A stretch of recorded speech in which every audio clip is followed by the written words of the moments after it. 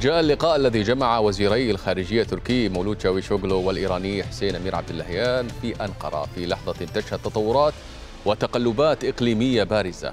وحضر في اللقاء التعاون بين طهران وأنقرة في مختلف المجالات والقضايا الإقليمية والدولية. على رأسها التقارب التركي السوري. وسط حديث أيضا عن قرب عملية برية تركية في الشمال السوري.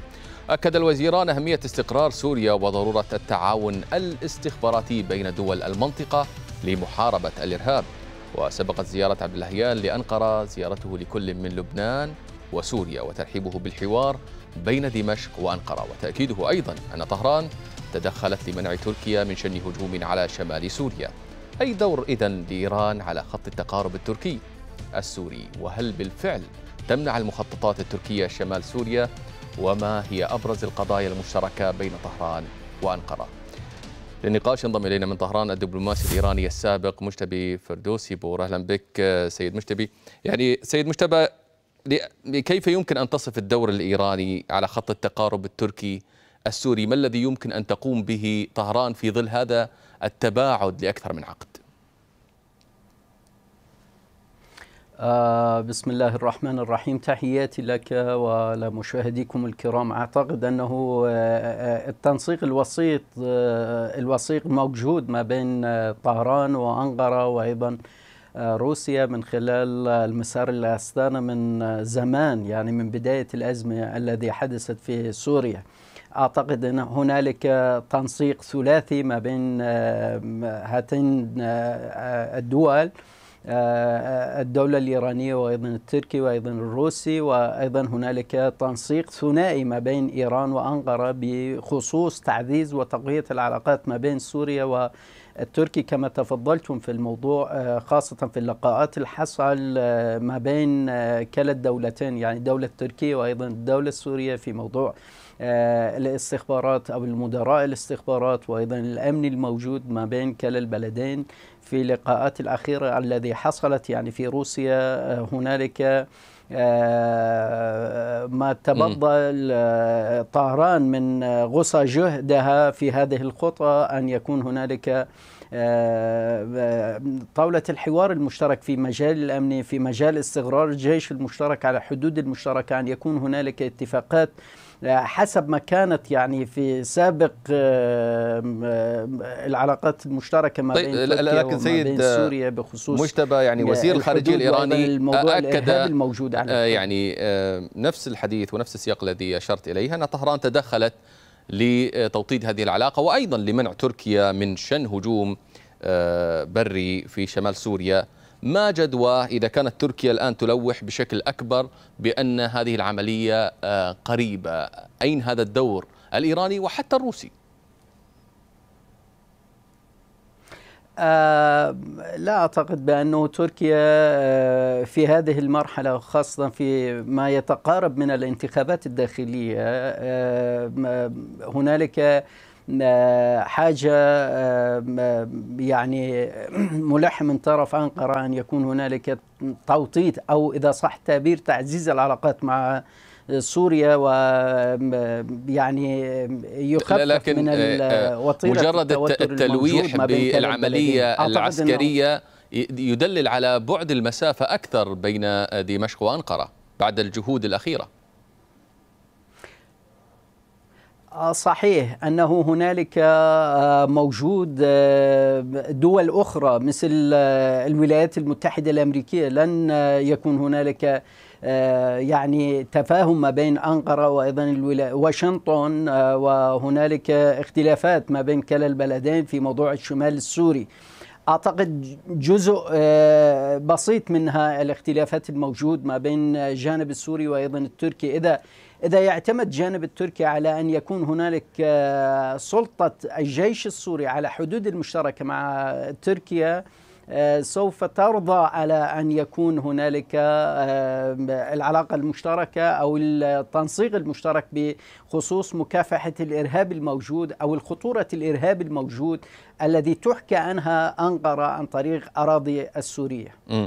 يعني كانت دمشق قالت أن شرطها هو احترام وحدة الأراضي السورية آه، وزير الخارجية أيضا السوري فيصل المقداد قال لا تقارب دون إنهاء ما سماه الاحتلال العسكري التركي في شمال سوريا. بالنسبة لطهران يعني هل تدفع طهران أنقرة لقبول الشرط السوري أم دمشق لتخفيف هذه الشروط؟ أعتقد بأنه هذا الشرط شرط سوري وشرط محترم جدا أن تحترم كل الأطراف المعنية في موضوع الملف السوري أن يكون هنالك سيادة أو احترام. إذا صح التعبير الاحترام سيادة الموجود على كافة الأراضي السورية أن لا يكون هنالك أراضي سورية تحت احتلال أي دولة. شرط محترم جدا آه، طرح هذا الموضوع في لقاءات آه، خاصة في لقاء أخير مع علي وزير الخارجية مع آه، فخامة الرئيس بشار الأسد وأيضا نظيره السوري بأنه هنالك شرط لتعزيز العلاقات أو توطيد في موضوع اللقاءات المشتركة القيادات التركية السورية بأن لا يكون هنالك احتلال التركي على أراضي السورية م. وطبعا أعتقد أنه في مفاوضات مشتركة ما بين إيران يعني ما بين وزراء خارجية إيران تركيا أن يتفاوضون عن الملف السوري وفي هذا الموضوع أن يكون هنالك ترقيب جانب التركي أن لا يكون آه، على مشرف على أراضي السورية أن يكون داخل الأراضي السورية أن يكون هنالك تنسيق بما آه، طيب. كانت يعني في اتفاقات سابقة ما بين سوريا وتركيا أن يكون آه، جيش دول كلا الدولتين أن يكونوا على الحدود وأن يكون سيطرة الجيش وأن يكون تحت إطار الأمني من أطراف أمنية عسكرية وجهات معنية من كلا الطرفين يعني الجانب السوري وأيضا التركي أن يكونوا مسيطرين على آه، آه، الإشراف الأمني على الحدود المشتركة. وهنا السؤال يعني ما هي نقاط الالتقاء بين أنقرة وطهران بالنظر إلى يعني الملف السوري؟ وكيف يمكن البناء على هذه النقاط آه، سيد مجتبى أعتقد آه، بدنا ننظر إلى الملف مسار الأستانة. في ملف المسار الأستانة كانت هنالك موضوع مكافحة الإرهاب على أراضي السورية أولا. ومن ثم كانت آه، رفع الاحتلال عن الداعش أو ما تبقى من الداعش ودواعش وجبهة النصرة على آه، موضوع الفرات الشرقي اللي كان موجود في هذه المنطقة. وثالثا أعتقد بأنه شيء مهم من طرف أنقرة هو ملف اللاجئين السوري الموضوع موجودين على أراضي تركيا أن يكون هنالك آه، تعاطف جانب السوري لمراجعة آه، اللجوء السوري الموجود على الأراضي التركية. آه، وأن يكون هنالك الشراكة المشتركة السوري التركي في مكافحة الإرهاب آه، الموجود على الأراضي آه، كلا الحكومتين أو الأراضي السورية التركية. م. وخاصة في ملف الكردي لأنه هنالك تخويف من جانب التركي في ملف التركي. ودائما الجانب التركي تحكى عن الموضوع البي كاكا آه، أو الإرهاب الموجود أو متخوف منها. الجانب التركي الموجود يعني في أراضي السورية. أعتقد إذا تفتح المجال للحوار المشترك آه الذي فتحت هذه المجال بمسعى إيرانية وأيضا الجانب الروسي بتقارب جانب آه القيادات الأمنية والاستخباراتية أن تفتح المجال أن يكون يعني يمضى قدما للأمام نعم. في هذه المجال وأن تفتح المجال للدبلوماسيين وشراكة الحوار الدبلوماسي شكرا. المشترك ما بين الجانب التركي والسوري وأن تبدأ بالتفاهم المشترك ما بين كلا البلدين مجتبى فردوسي بور الدبلوماسي الإيراني السابق كنت معنا من طهران شكرا جزيلا لك